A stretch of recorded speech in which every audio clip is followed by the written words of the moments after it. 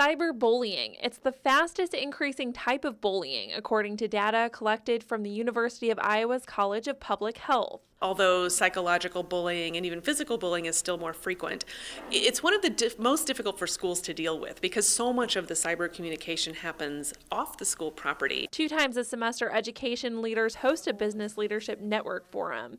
Tuesday's keynote presentation focused on cyberbullying as a public health issue affecting Iowa youth. It's very disturbing to young people and to adults. Uh, it can lead to very serious consequences as far as suicide among young people.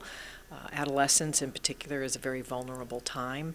It's very prevalent, and the best way to deal with it is to bring it out in the open and to talk about it. We do a lot of work focused on bullying prevention and cyberbullying in the schools. We've also worked at the state level to evaluate the state's anti bullying policies, and we've also had a really interesting collaboration with Hancher Performing Arts and a local theater group called Working Group Theater. With that collaboration, a play called Out of Bounds has been performed around a few schools in Iowa City. And our goal is to um, create a larger arts based curriculum to help students and schools uh, address the issue of cyberbullying. With a curriculum of arts based bullying prevention activities, she hypothesizes a long term impact. And the goal ultimately is to engage engage school campuses with principals, teachers, counselors, parents, as well as the students in um, developing a climate that is um, engaged and not tolerant of bullying behavior. Reporting at the Honey Creek Lodge in Moravia, Iowa, Laura Simon, KTVO News. So that is, you know, the type of example